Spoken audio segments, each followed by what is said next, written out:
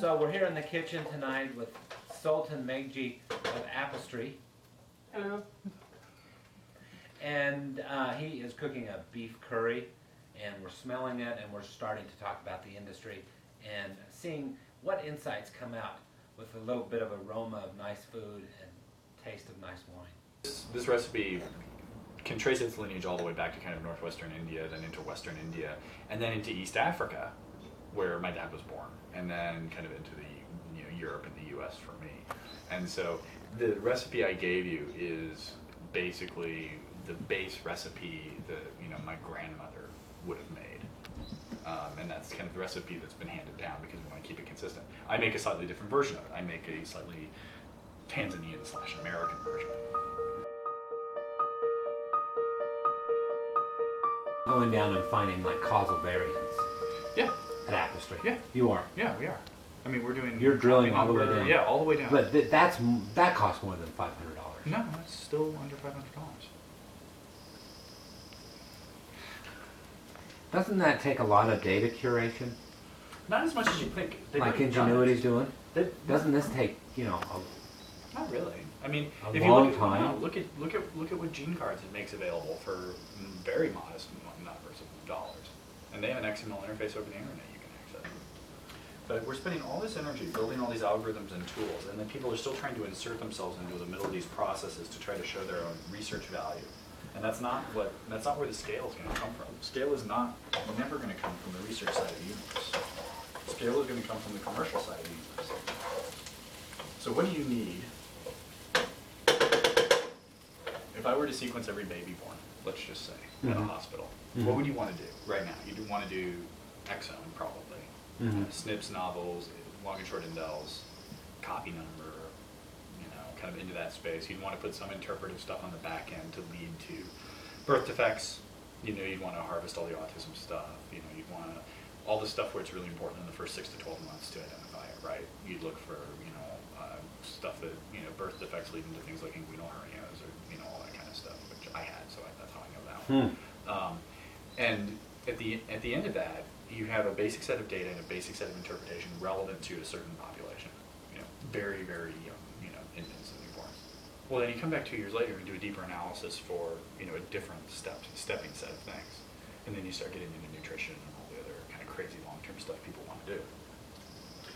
But there's no reason why, for you know really modest amount of money, you can't do that and just have the data. And then as the interpretations mature over time, just keep doing the analysis over and over again. And if you want to, you know, get into epigenetics and some of this other stuff, you can turn around and do another sequence later on, and maybe do a whole or whatever. This is the onions, the garlic, the potatoes, the curry powder, tomatoes, kind of the, the first half of the recipe. And this is a basis for pretty much any kind of standard curry Hmm. that I make. So, so. Which is why you are doing six cities three months Um, or two months or whatever it was. So there are a couple of reasons. I mean, there's the, all the business stuff, trying to scale our commercial operations, which is you know, the boring side of this, right? The the more important side of it is to get in touch with the industry as it evolves, because it's such a rapidly changing universe that, the, especially the move out of the research universe into clinical is, is such a massive shift right now. And keeping in touch with everything that's going on there is, is almost a full-time job in and of itself. And you need to, we need to be able to get in front of some of the really stupid decisions that people are making and make sure that they don't, you know, let those get out into the commercial space. Because there are some tremendously bad decisions that people are making that are just, are highly avoidable, but you gotta actually explain to them, like using Amazon for this, Uh huh. which is just ridiculous. It's ridiculous. People are having a problem using Amazon.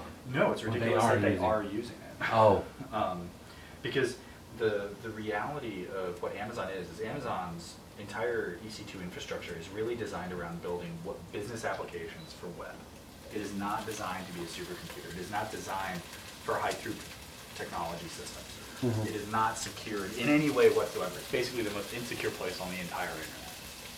I mean, Amazon. Amazon. the most yeah, insecure place on the absolutely. internet. There are, there's a tremendous amount of demonstrated use of the Amazon infrastructure for botnets and spam and uh, kitty porn. I mean, it's just, it's incredible the amount of horrible stuff that goes on in the wild, wild west that is Amazon. And I will not trust that infrastructure until they take security seriously. And that means breaking it up into component parts, redesigning big pieces of its architecture. It's just a disaster. And then on top of it all, it's virtualized, which means that you're not going to get decent performance out of it. You're going to have huge I/O problems, which they won't be able to fix until they redesign it. Um, the healthcare system is the perfect way to explain why evolution exists and intelligent design doesn't. Because it was not designed. What is the most natural function of the human body besides simply existing and, and eating and kind of the normal body? Eating, Yeah. eliminating, Right, okay. sex. Okay, and having children. Okay, Having that is children. the that is Yeah. the, that is why we exist. Procreation.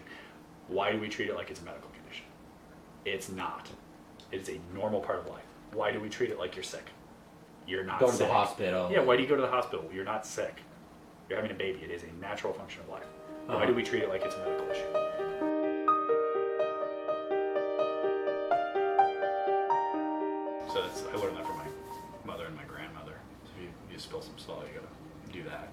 It's a European thing, I think, originally. I don't know where it came from.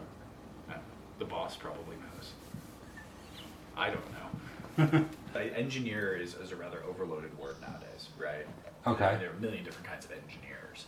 Um, and not there's anything wrong with it, I just think it's confusing. So for me, I talk about applied sciences, uh, applied technology, um, in, in ways that are meaningful to the world around us. So that's, when I have to talk about this, that's how I talk about it. So for example, um, I, I work with someone very closely. His name is Michael Groner. He's one of the founders of Appistry. He's our chief architect, and he and I are, are very similar. You know, close in the same age, uh, similar background, similar work experience. And the big difference between the two of us, and we talk about it quite a bit, is that he's been very much what I'd call it internally focused inside of computer science. So figuring out how to build the internal tools that keep the world working. You know, keep that universe operating and advancing it.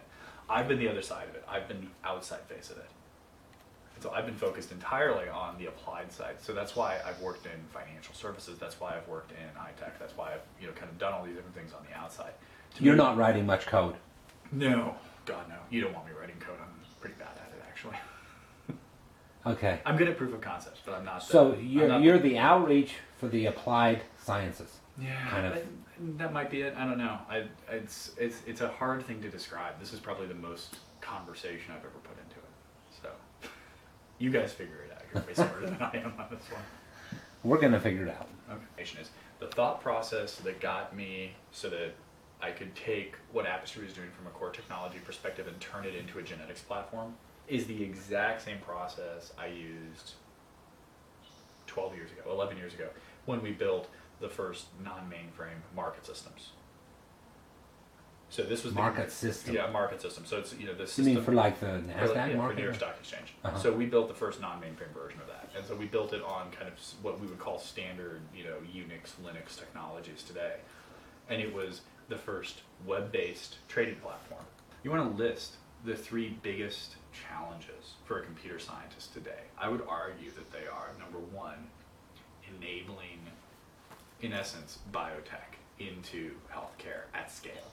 So building it so that every single person in the world, regardless of their place in society, can have a full genetic scan, can fully understand how their body works, and can do it in a way that is insanely affordable. So to me, insanely affordable today is under thousand dollars.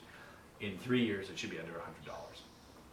Um, you know, I think, and I think it should be built into your iPhone, or you you know buy a thing at the at the pharmacy, you plug it into your iPhone, you spit on it, and you install the app, and you click go, and you know, an hour later you get an email with the secured link to the nice little report and all that. That's project number one, and that's what we're working on right now. And I think we we we've handled all the computer science. The computer science is sorted. There's nothing there. There's some integration work. The real challenges, and this is why I get on the sequencers. There is no little device you spit on it's always a guy in a lab and it's always a six figure or seven figure device. That's why I jump all, all over the sequencers because they're not seriously thinking about radically changing the world. So that's one project. Second project is our entire financial system is not designed to be consumer relevant. It's it's legacy, it's old fashioned, there's 700 different overlapping systems. We need to wipe that out completely and come up with an entirely new way of doing finance. And I think a lot of the pain that we see um, economy right now is because nobody really understands how it all fits together. And in a lot of cases, it's all just ad hoc in terms of how it all fits together. Um, I would argue that there is a way to, in two years and for a very modest amount of money, to set up a company that could replace all retail, retail banking and all retail loans to consumers with a single unified entity that would be more cost effective, that would be easier to manage, and would fit into the lifestyle of everyone in the world. So it'd be mobile. Are you aligning that with the way we do finance? That's part of this number yeah, two. Yeah, that whole conversation is number two. And then number three is, and this is where I get a little, a, little way out there, is we need to be off this planet. We need to be on multiple planets. Because a single asteroid could kill us all. And frankly, we need the cultural differentiation. We need the exploring to make our, our culture more vivid and more exciting. I agree. I've been watching this Western series on HBO, and I want to go one? join a Wild West somewhere. Which one? Deadwood. Oh, okay. Have you seen it? Oh, wait, I think I watched the first episode. No. It's in um, this territory. Uh, this they call it the camp, mm-hmm. where there's no law yet because they're working on a treaty with the local native peoples. Mm-hmm. So they're sort of outside any law, and there's certain advantages to that mm-hmm. for the the wealthy and the powerful. Well, just imagine, let's just say, hypothetical. Let's just say that we could figure out how to do something better than low Earth orbit. Because right now, all we care about Low is Earth orbit. Low, LEO is what they call low Earth orbit. That's all we care about. The, the, the space station is, ki- is low Earth orbit, although you could argue that probably. Um, Neil deGrasse Tyson, who is an amazingly visionary guy um, from, the, uh, from New York. Yeah. Yeah, he, he does a I know couple him. of really good speeches about this. If you ever uh, uh, the Sagan Files or whatever it's called on Facebook, or the Sagan Stories or whatever? Oh Uh, yes. Cultivating. The quotes with all the music and the nice visuals and all that. One asteroid, one stupid set of political decisions by three or four people on this planet, one decent environmental crisis, one decent weather crisis could really cripple humanity. Hmm. And first off, we're not planning for most of those, and so they would be massively impactful. Second, why put all your ba- eggs in one basket? We can be on the moon. We can be on Mars. If we chose to be on Mars tomorrow, we would be on Mars. Let's get on Mars. Let's invent that technology. Let's invent that next generation of economy. Because frankly, look at the entire internet. Look at the entire boom of the 90s. You can trace almost every single technology there back to the space program. Almost everything comes out of the investment we did to need to go to space. Applied visionary. Hmm. I Visionary. hate the visionary word. Oh, You do. I do. Why? I, I find it arrogant, kind of narcissistic even. Why should you listen to me? I'm just a guy. Yeah. I mean, really. I'm a guy from the middle of a cornfield. Still needs homework.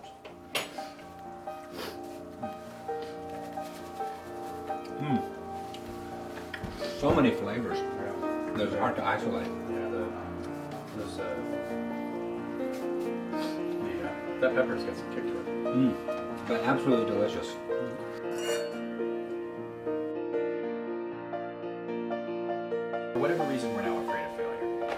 If I fail three times in one day, I think it's a good day because that's you know not too bad. Mhm. But I learned something.